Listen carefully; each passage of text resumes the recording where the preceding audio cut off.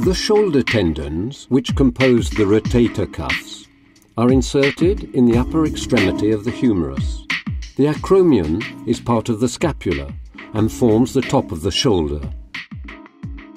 The tendons rub against the acromion if it's too curved, resulting in irritation and rupture.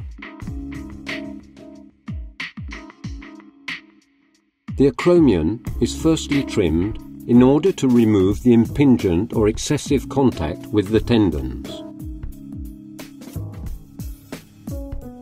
The bone of the humeral head is prepared to receive the anchors, which will enable the repair.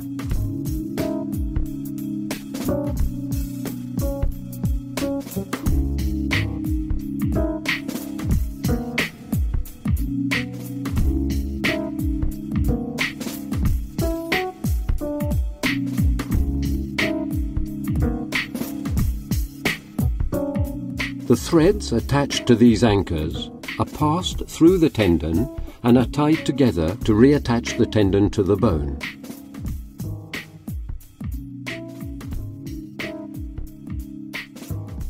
The tendon is repaired and there is no longer any excess contact between the tendon and the acromion.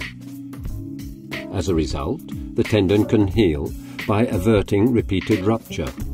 The shoulder thus recovers mobility and strength and is no longer painful.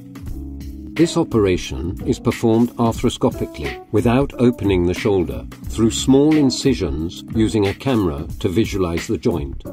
The operation preserves the other shoulder muscles and enables rapid recovery.